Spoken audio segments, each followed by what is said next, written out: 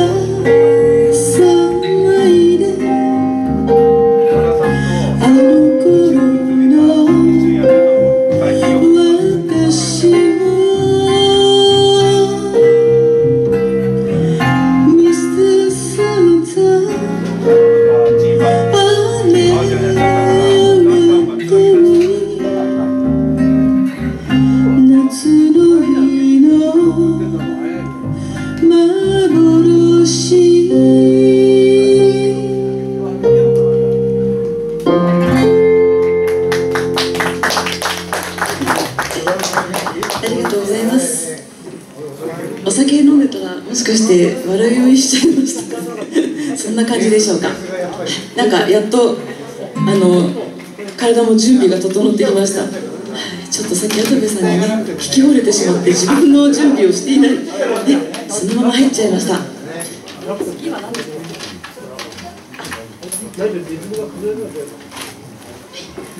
では次はあの姫田でよくやらせていただくユーミンの中から今日は違うナンバーをやらせていただきたいと思います。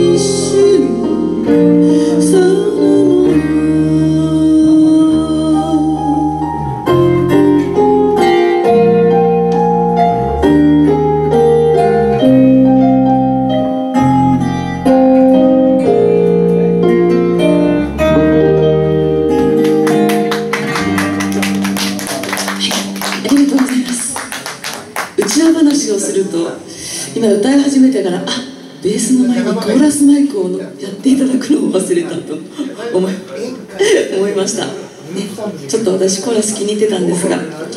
自分が大きな声を出しすぎました、はい、それで、えっと、ちなみに今日いろいろ何も考えないで今のうちに忘れちゃうからメンバーを紹介しておきたいと思います、えー、もう皆さんは何度もねご一緒させていただいているので姫鍋の由来は私が姫と呼ばれていました昔のバンドで。で川鍋で姫鍋でえー、最初始めましてその後、えー、ベースの安田光夫とえーピアノの藤原真理子入っていただきまして4人になったんですけどもう姫鍋でいいねと、ね、いっぱい出してくれたんですよね。かっこいい名前をね。あの全部スルーしちゃいましてよく怒んなかったなって思ったんですけど結局そのままになりました、ね、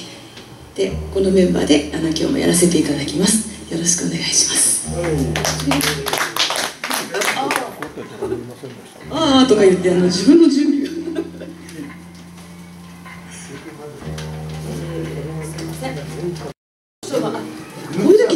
ね。やっぱりバンドにはあのボケとツッコミ担当がいりますね。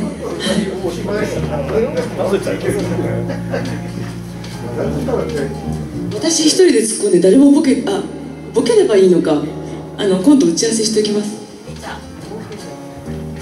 これもこれはあの森高さん千里さんの歌なんですけどだいぶ前の歌でちょっとアレンジが違いますが「渡良瀬橋」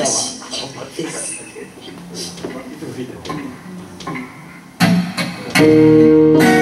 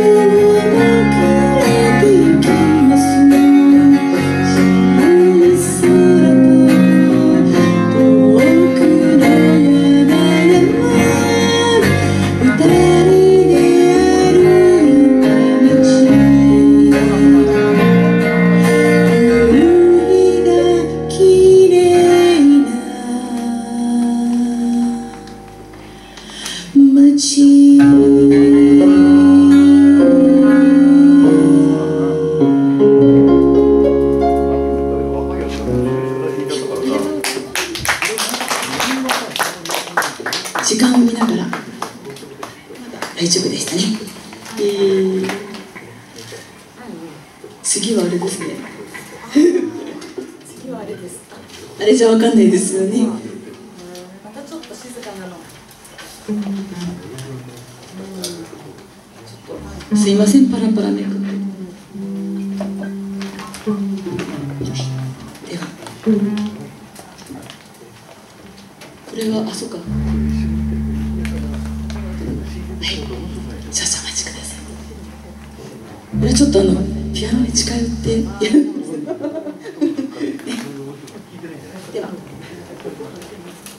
なんか変なプレッシャーをかけてしまっ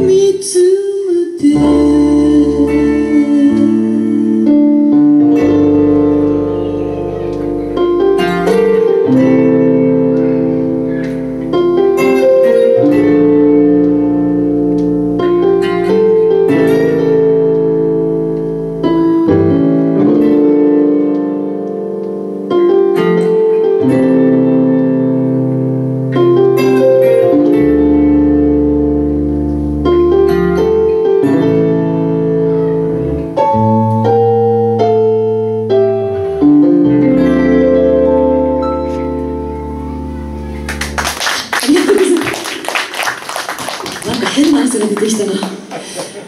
あなんか跡部さんがジャケット脱いだの分かりますね。でもこれ脱げないからちょっと頑張ります汗かいたまま、ね、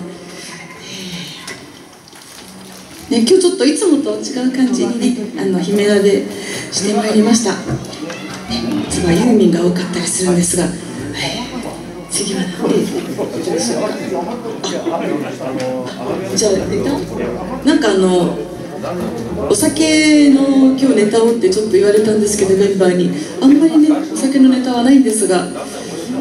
なんかいつも